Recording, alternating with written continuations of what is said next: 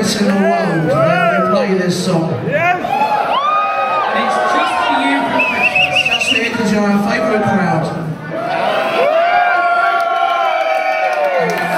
Feel free to throw more fingers on stage. Come on!